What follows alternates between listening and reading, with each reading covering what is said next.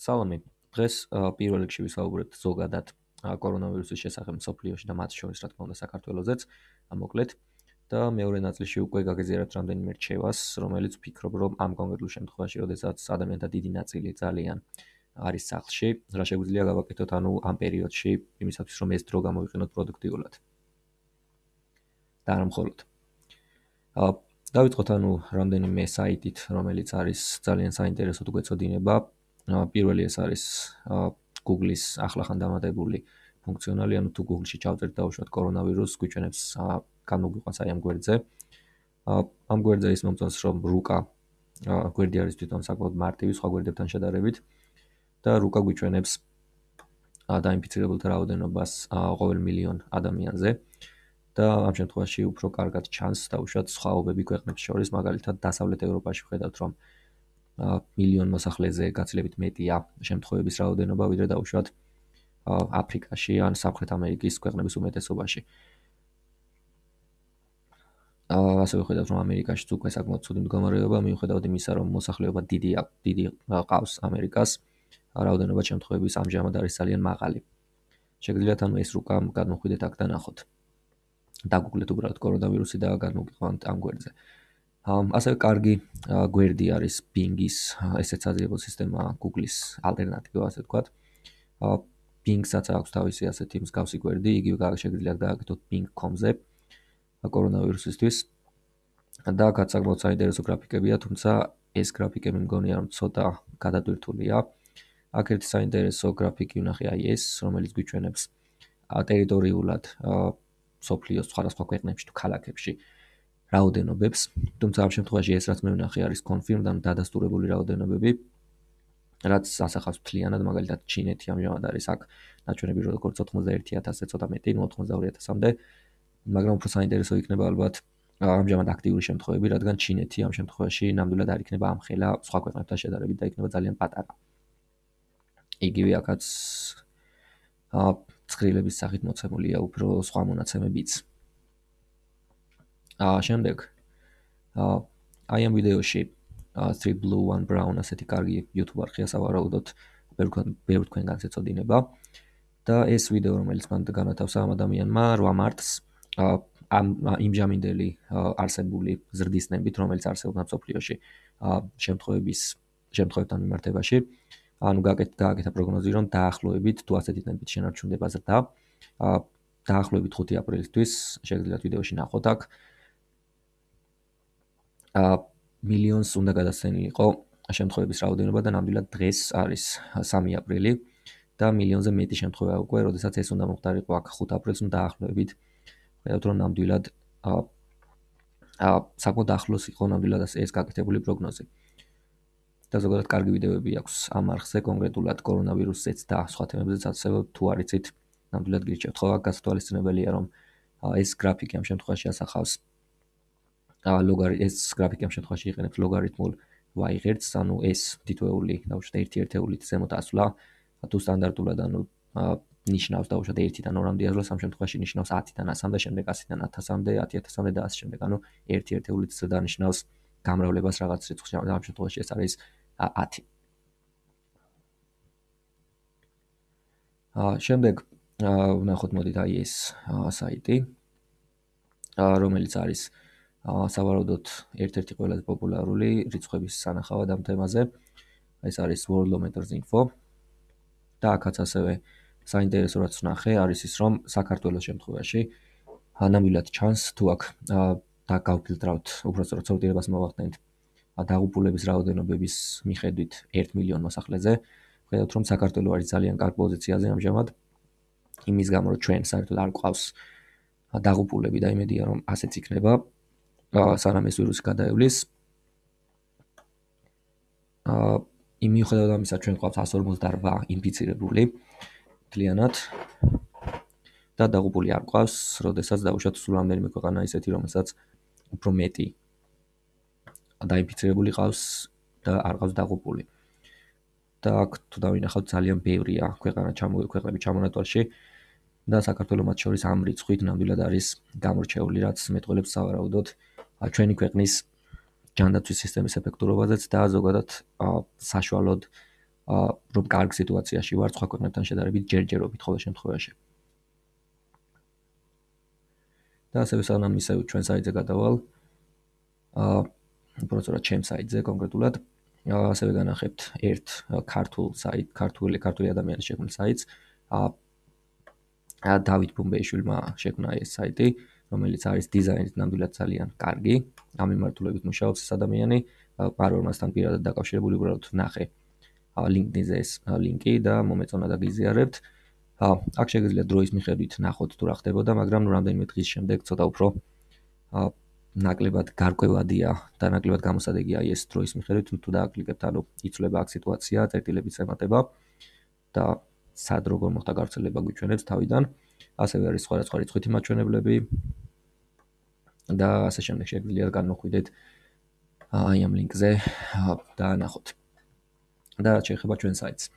ბოლო ვიდეოს ჩაწერიდან დავამატებ მხოლოდ ერთი ტაბი აქ mortality rates რომელიც ამ შემთხვევაში გვიჩვენებს. ჩინეთის შემთხვევა სტანდარტულად.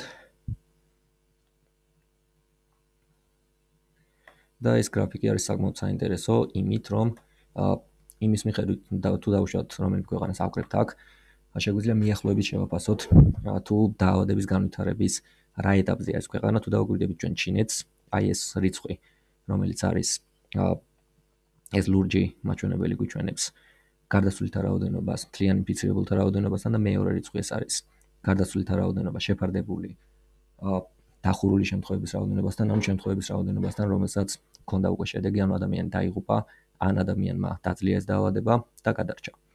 და როდესაც ეს ორი მაჩვენებელი ერთმანეთს უახლოვდება, აა შეგვიძლია ვთქვათ, რომ დაავადება ამ ქვეყანაში მიდის დასასრულისკენ. ეს არის ჩინეთის შემთხვევა.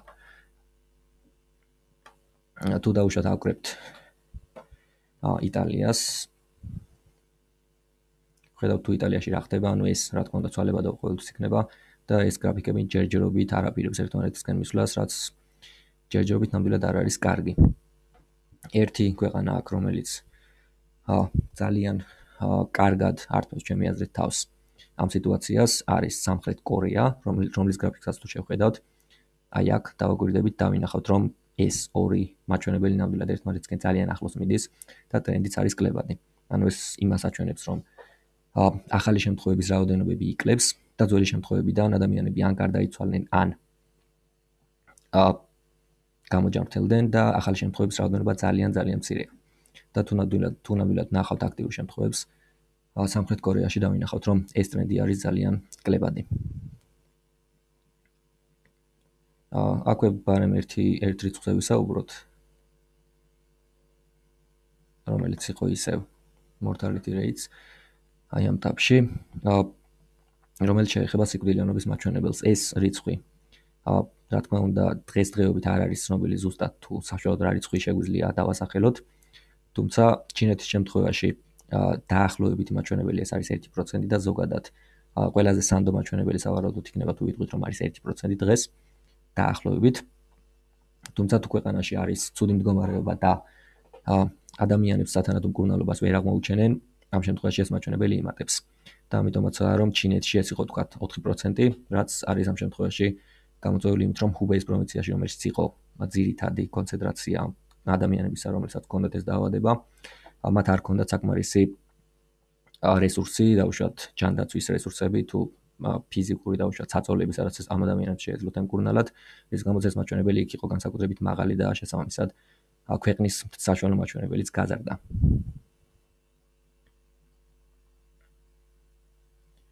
აქ შეგვიძლია ასე ვნახოთ თუ სად არის საქართველო. ამ შემთხვევაში ეს მაჩვენებელი, მაჩვენებლები ადრს კარგავს. რაც ერთი მხრივ ძალიან კარგია. აქ მნიშვნელოვანი არის დღეების მიხედვით დადასტურებული შემთხვევები. რაც გვიჩვენებს, რომ სხვა ქვეყნებთან შედარებით თუ ავიღებთ დაუშვათ ჩვენს მეზობლებს ისევ სომხეთს და აზერბაიჯანს. დღიურად დადასტურებული შემთხვევები ლურჯი ეს არის საქართველოს. გაცილებით დაბალია და შესაბამისად თლიანი შედეგებიც გაცილებით დაბალი გვაქვს ჩვენ. თუმცა საქართველოში აქ ერთი ნაკლებად საწიამოვნო ტრენდი რაც ბოლო დღებში შემოჩნია არის ის რომ თუ დაუკვირდებით აი აქ წინა დღეებს აი ბოლო რამდენიმე დღეში გქონდა საკმაოდ მაღალი მაჩვენებელი მაგალითად გუშინ იყო 17 ახალი შემთხვევა რაც არის ყველაზე მაღალი დაფიქსირებული და ტრენდიც თითქოს მიდის ზემოთ. დღესაც იყო 14 ახალი შემთხვევა როგორც მახსოვს. შესაბამისად შემდეგი წერტილი უკვე იქნება სადღაც აი აქ რაც აჩვენებს აღმავალ ტრენდს და იმედია რომ ამ ტრენდის ქვემოთ ჩამოყვანას ნამდვილად შევძლებთ. და აქტიური შემთხვევები დღიურად. უბრალოდ სხვაობა არის იმ შემთხვევაში ქვემოთ უფრო საინტერესოა ეს აქტიური შემთხვევები, ხედავთ რომ საქართველოში 108 აქტიური შემთხვევაა და სომხეთი, აზერბაიჯანი ცოტა უფრო ცუდ მდგომარეობაში არიან დღესდღეობით. ა ეს გრაფიკებიც ამ შეგიძლიათ ნახოთ, გადმოხვიდეთ finder.g/covid19 და გადავიდეთ ვიდეოს მეორე ნაწილზე. ა რომელიც ა დაიწყება ვარჯიშით. ა პირველი რაც გონია რომ აუცილებელია განსაკუთრებით ახლა გავაკეთოთ და ზოგადად არა მარტო ახლა, არამედ ნებისმიერ შემთხვევაში ძალიან კარგი იქნება თუ გავაკეთებთ, არის ვარჯიში. რაც თავიდან დაწყება არის ცოტათი რთული, ცოტათი კი არ შეიძლება ითქვას საკმაოდ რთული. მაგრამ ამ შემთხვევაში გაჩვენებთ ორ არხს, რომელიც YouTube არხებია და უფასოდ შეგიძლიათ ჩამოტვირთოთ და უშოთ ვიდეოები ან უყუროთ ხოლმე YouTube-ზე. აა პირველი ეს არის Thenix, ძალიან კარგი არხი, ასევე არის Chris Heria, ეს ადამიანი რომელსაც ხედავთ, არის აი ეს Chris Heria. თავისი ანუ ბლოგის არხიც აქვს და შეგიძლიათ ნახოთ იქაც.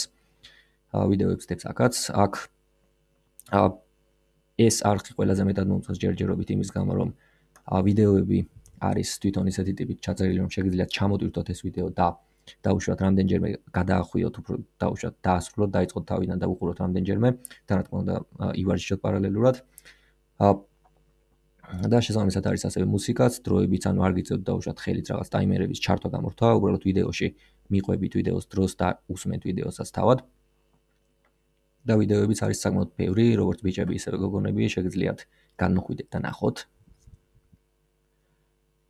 და თქვენი სურვილი სამებრ გამოიყენოთ ეს ვიდეოები. ხო, ვიდეოების უმეტესობა არის აა 3-დან 4 აა კამერების რეკომენდაციით, ანუ დაუშვათ თუ არის ეს, ну, საშუალოდ 13 წუთიანი ვიდეო ვარჯიში აქედან იქნება სადღაც 7-დან 10 წუთამდე ალბათ მიახლოებით და ეს გამრავლებული 4-ზე ანუ ვიღებთ სადღაც დაახლოებით 9 საათს ან ცოტა მეც.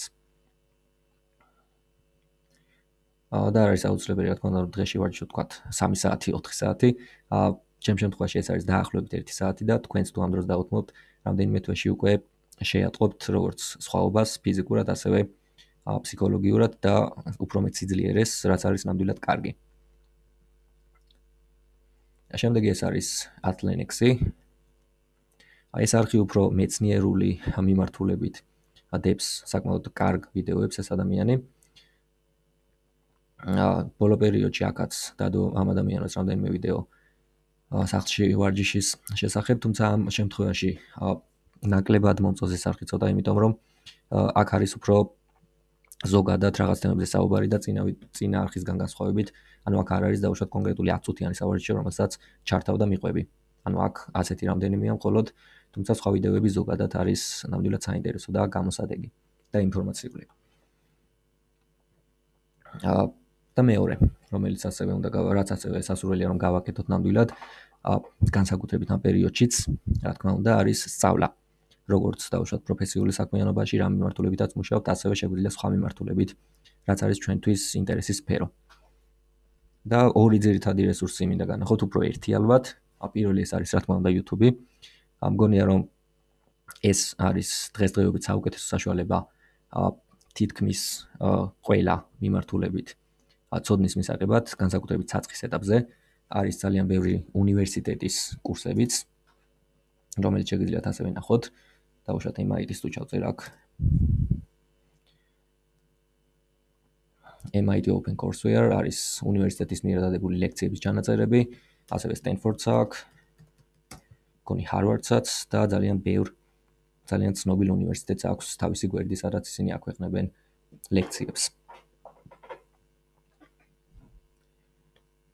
და რა თქმა უნდა, გარდა უნივერსიტეტებისა ძალიან მაღალი ხარისხის ბლოგერები თუ უბრალოდ იუთუბერები არსებობენ, რომლებიც ასევე სრულიად უანგაროდ გვიზიარებენ ინფორმაციას. აა შემდეგი საიტი ეს არის edX-ი, რომელიც განსაკუთრებით მომწონს. ასევე არის როგორც ვიცი Coursera და Udacity, შედარებით კარგი, მე რომელიც მაქვს გამოყენებული. ვერ ვიტყვი რომ ამ საიტებს შორის ძალიან დიდია სხვაობა. ეს edX-ის მობილური ვერსიაც არის, მაგრამ არის საშინელება გამოსაყენებლად. აა თუმცა, ну, რაღაც დონეზე უბრალოდ დამხმარე საშუალებად რაღაც შემთხვევებში არის ასე თუ ისე გამოსადეგი. შეგიძლიათ დარეგისტრირდეთ ახაც და ნახოთ, გაიცნოთ, ისწავლოთ. სწავლის თემას რაც შეეხება ა მეც მაქვს ბევრი იდეა თუ რა მიმართულებებით დავდო არხზე მასალები, თუმცა რაღაცის რაღაც მიზეზების და გამო აა თითქოს мотиваცია მაქვს ნაკლები. აა თუ უბრალოდ არ ვიცი. სხვა თემებს ვფიქრობ რომ უფრო უკეთესი იქნება ხოლმე და უთმოდრო, რის გამოც ვიდეოებს იშვიათად ვებ შედარებით. აა თუმცა მინდა რომ ეს სიტუაცია შევცვალო. აა ასე რომ ვნახოთ, რამდენად შევძლებ. აა დღეს წავედი აბა, კარგად.